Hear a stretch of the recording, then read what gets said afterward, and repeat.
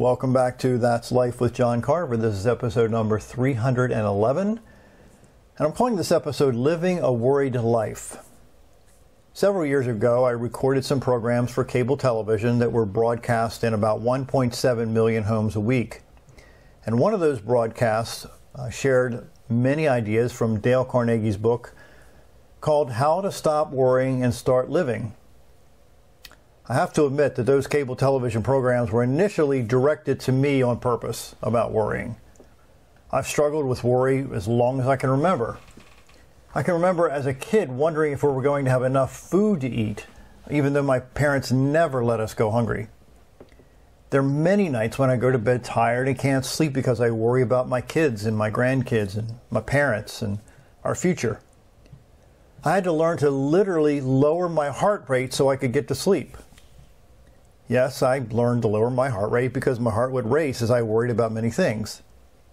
I've used a pulse ox to verify that my heart rate lowers with certain techniques. Our daughter Juliana fought cancer eight times and rarely worried. She always amazed me how she could laugh and play while fighting for her life. She, without knowing it, lived a life of what Dale Carnegie said, quote, if you want to avoid worry, do what William Osler did live in day tight compartments. Unquote. Don't stew about the future, just live each day until bedtime. You see, Juliana mastered that technique. Juliana had to get a bone marrow biopsy done in January 2016 when she was barely 14 years old, and by that time she had fought cancer six times. It was unusual, but she was worried for weeks about the biopsy that it was going to hurt. The evening after the biopsy, she said, That's what annoys me so much. I always get myself all worked up about the little things, so I always tell myself I always worry about nothing. Unquote.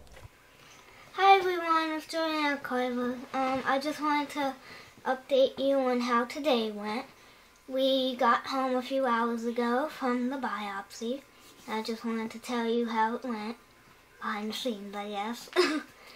so, like, all this week I've been worrying about it because they've been saying that I was going to get local anesthesia instead of regular. So they were going to keep me awake for it. And I was like, I don't want to be awake because then I'll be, like, feeling it and stuff. And they're like, no, they'll give you a needle and numb it. I'm like, but I'll feel the needle. And I've been worrying about that the entire time. And then when it finally came to that, it was just a little poke. And then I was like, did I really worry this whole week about a little prick? and then that's what annoys me so much when I do these kind of things. I always get myself all worked up about the little things. And then it doesn't hurt as bad. So I always tell myself I worry about nothing. So that was pretty much it.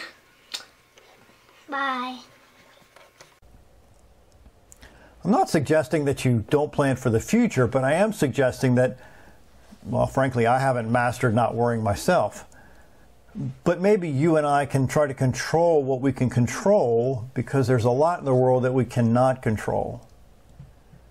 One of Dale Carnegie's quotes about worry is, quote, remember today is the tomorrow that you worried about yesterday. Again, remember today is the tomorrow that you worried about yesterday.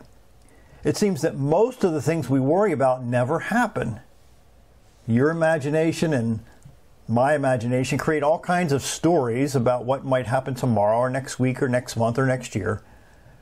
I try to convince myself constantly that none of my worrying is going to change anything beyond what I can control.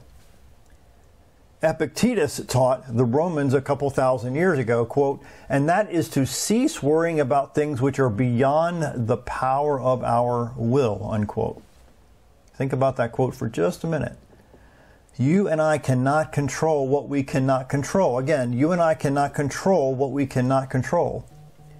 What you and I do daily impacts our lives more than the potential scenarios that might happen to us in our brains. You can, your consistent positive actions matter more than you can imagine.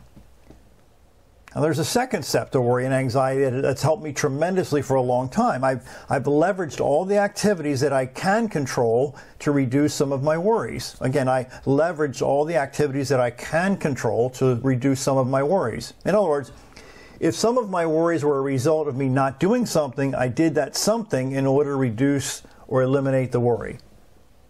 This habit got that worry, whatever it was, out of the way so I could focus on other tasks to reduce my stress level. So, as I end this broadcast, author Corrie ten Boom wrote Worrying doesn't simply empty tomorrow of its sorrow, it empties today of its strength. My name is John Carver. Thanks for watching.